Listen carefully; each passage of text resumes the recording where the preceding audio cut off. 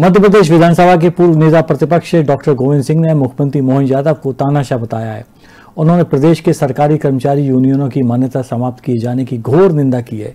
इसके अलावा गोविंद सिंह ने नरसिंह घोटाला मामले में तत्कालीन मंत्री और अधिकारियों के खिलाफ भी सख्त एक्शन लेने की मांग की है। पूर्व नेता प्रतिपक्ष डॉक्टर गोविंद सिंह ने प्रदेश सरकार पर जमकर हमला बोला। गोविंद सिंह ने सरकारी कर्मचारी यूनियन की मान्यता समाप्त करने को घोर निंदनीय कदम बताया। उन्होंने कहा कि मोहन यादव को मुख्यमंत्री बने छह महीने भी नहीं हुए हैं, लेकिन वह पूरी तरह से तानाशाही पर उतारू हैं। पीएम मोदी के पच्चिनों पर चलते हुए प्रजातांत्रिक सामाजिक संस्थाओं का गला घोटने का काम कर रहे हैं। कांग्रेस नेता ने कहा कि सीएम मोहन यादव ने सभी कर्मचारी संघों की मान्यता समाप्त करके उनकी आवाज़ पर ताला लगा दिया है। मध्य प्रदेश के शासकीय कर्मचारी अपनी छोटी छोटी मांगे, परेशानियों को सरकार के समक्ष अपनी यूनियन के माध्यम से, संघ के माध्यम से रखते थे पदाधिकारी। एक तरह से ताना रात को जिस प्रकार मोदी ने रात को 12 बजे जीएसटी लागू की, उसी पद्धति पे मध्य प्रदेश के मुख्यमंत्री मोहन यादव जी ने सभी कर्मचारी संघ को मान्यता समाप्त करके उनको अपनी बात कहने का हक छीन डाला, उनकी आवाज़ पर ताला लगा दिया मैं इसकी घोर निंदा करता हूँ।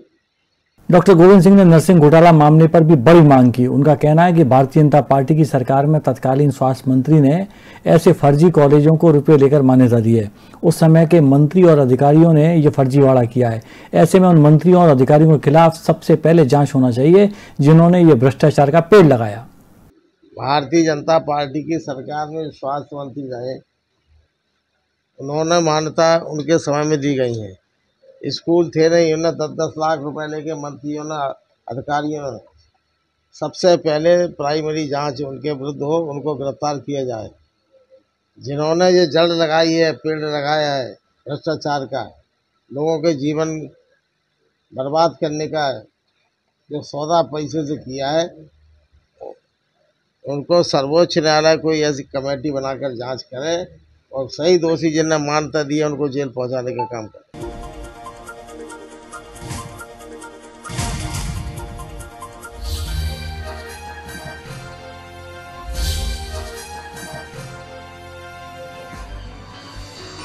आप देख रहे हैं दखल न्यूज़।